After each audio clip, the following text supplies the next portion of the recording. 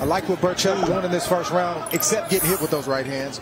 Mm, punch of Miguel Berchelt. And Berchelt, can't, ooh, good shot right there. Oh, great right hand to the body from Nakathila. It's gunshot. He's not letting it. Oh! Knockdown scored, round three, Nakathila.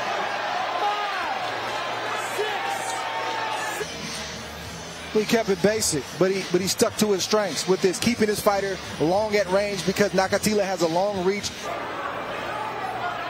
Can't get hit. Oh! Big shot sends the mouthpiece flying.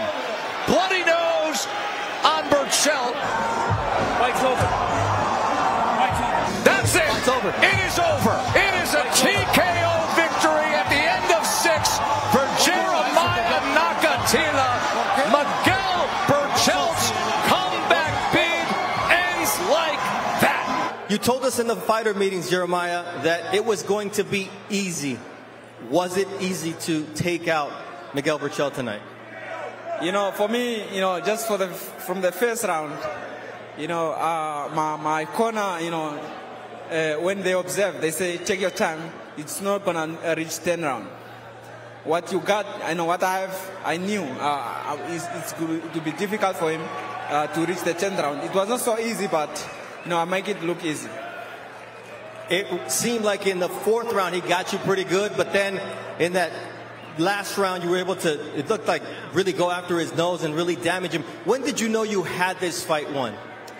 Yeah, I, I, at some point I know he comes swing, swing. You know, I smile at him and then I say, yeah, come on, come on, come on. And then uh, I, I, I didn't really bother me. You know, the way he, he comes, he swing, swing there. He, it didn't bother me because I just uh, uh, get, get back to, to my game plan. And then, uh, you know, I, I, I capitalize, what, especially what I did. You said in our pre-fight meetings that he was still asleep from the knockout against Oscar Valdez, and you were going to go put him to sleep. Do you think if they let him come out for the seventh round, that happens? Yeah, no, I, I already, I, I, I told him, you know, luckily he give up, you know, himself. I was going to hit him bed or, put him to sleep in a bad way. Luckily, he, he see it coming, and then uh, he decided he's not going to come back. What kind of message did you send to the other lightweights now? Are you going to stay at 35 or are you going to go back to, down to 130? Yeah, no, this is just a message to, to, to, to the lightweight division. You know, they don't, should not forget to mention my name when come to the lightweight. And I'm coming to, I'm coming for the, all these boys at the lightweight division. But for sure, me, if, if there's a good fight for me at the junior light, I can still do the junior light and a lightweight. You know, I feel much stronger. Thank you very much. A big win for his country of Namibia, Joe.